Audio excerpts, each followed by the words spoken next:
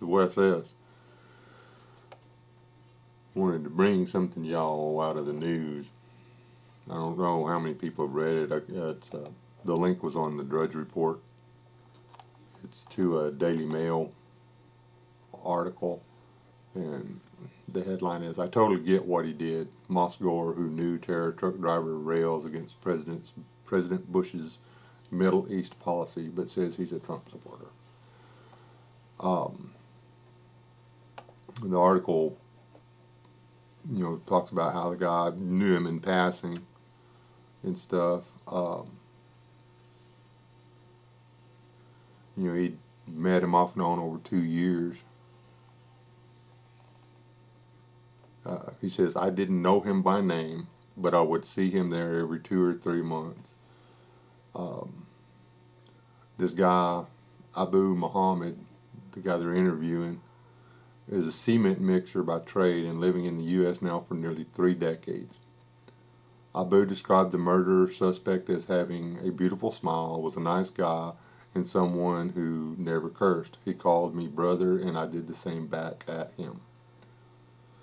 And it says Abu railed against the U.S. foreign policy in the Middle East, particularly blaming President Bush Sr. and son era for escalating tensions. And here, here's the quote.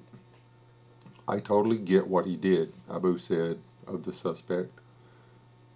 It's in response to Muslims dying every day as a result of this ongoing conflict. Why doesn't the media cover that? The U.S. needs to get out and let us run our own affairs. But as long as they meddle and interfere, these terrorist attacks will continue to happen. And this is the part we need to listen to. First, I totally get what he did. That means he supports what he did. That means he's okay with what he did. He understands why he did it.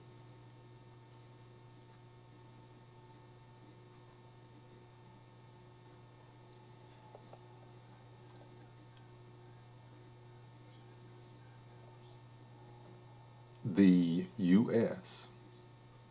needs to get out and let us run our own affairs. This guy's a uh, Pakistani national, which means he's not a citizen, he's here on a visa. And, or maybe he's a citizen because he voted. He voted for Trump, it says. So I guess he has to be a citizen. If he's a citizen, then why is he saying the U.S. needs to get out and let us run our own affairs? Us being the Middle Easterns, Iraq, Iran, Saudi Arabia, um, Pakistan, yada yada yada. this guy just proclaimed his lack of allegiance to the United States of America and a full allegiance to the Middle East because the Muslim faith believes that that's the Holy Land and that they should spread their faith over the entire face of the planet and that it should be the only one. There's no way to argue that. There's a million different ways they're allowed to do it. Well, maybe not a million, but there's a lot.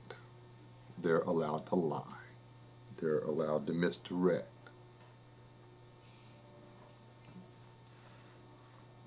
We need to be really careful. We need to pay attention to stuff like this. Like, um, I looked all over the place to see if anybody else had jumped on this yet, and there's there's there's nobody has has jumped on this article. I mean, here's a guy that's been there for 30 years, flat out says he gets why he did it, which means he understands it, even backs him on it. I mean, I'm sorry, that's what that says. When you say you get it, I understand. Nowhere in here does he call the guy a murderer, uh, a terrorist, or anything like that. Calls him a brother. He says that the U.S., the country he's allowed to vote in, needs to get out of his homeland and let him let him and his brothers run their own affairs.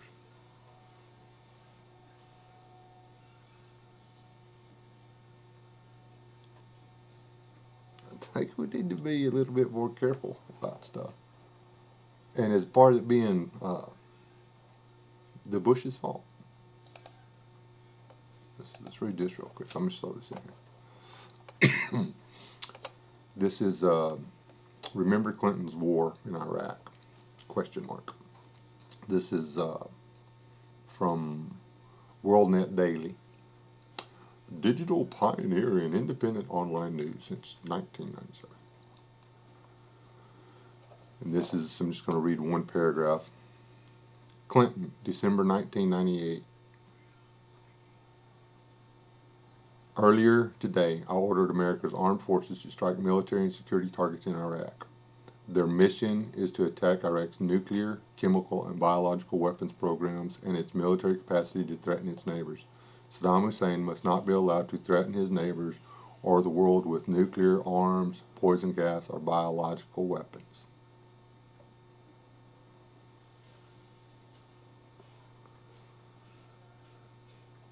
Sounds like uh, Clinton was bombing the Middle East too. You know, that was barely mentioned in passing in the news.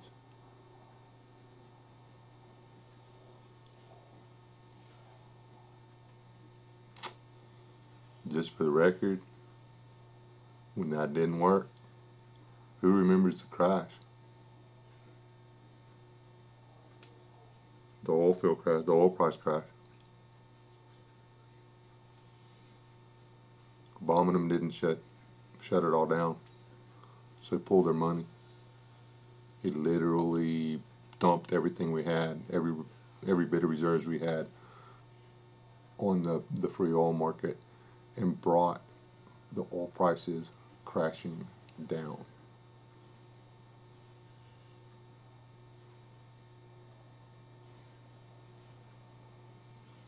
So he fought it physically with military strikes and economically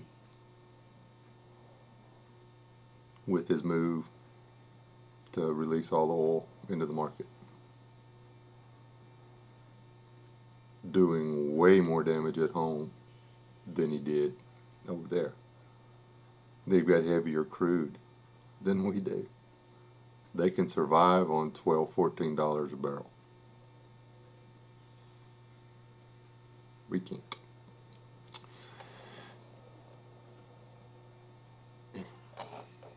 Yeah. That's that's what we're fighting against, or what we're struggling against as a country. Is people that don't believe this is their country. They want to live here. Why do they want to live here if, if this isn't going to be their country?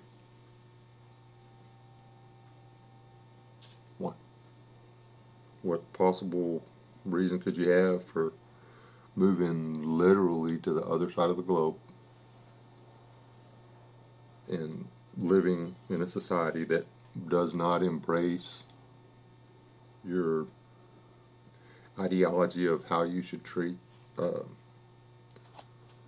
homosexuals, women, or just in general other human beings. I mean, what possible reason could you have? and if it's something as simple as uh, so they can have a better life, you know, they hold they hold uh, the land where they're from as sacred. So couldn't they just do the whatever it took to fix that? Why do they have to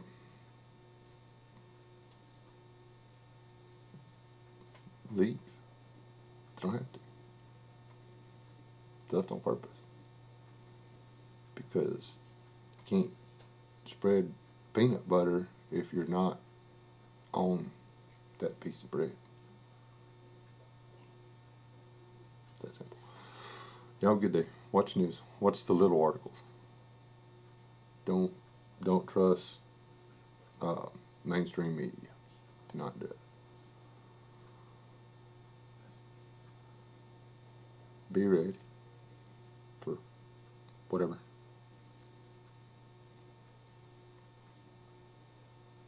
Just saying. I'm afraid these truck things are going to become the thing of normalcy.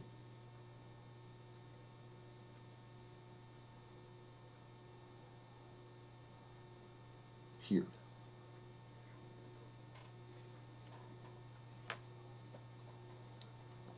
Somebody in his family, amongst his friends, in his brotherhood, had to know what he was thinking. They could have stopped it. They didn't want to. Yep. Anyway. Have a good day. Stay safe. Try not to die.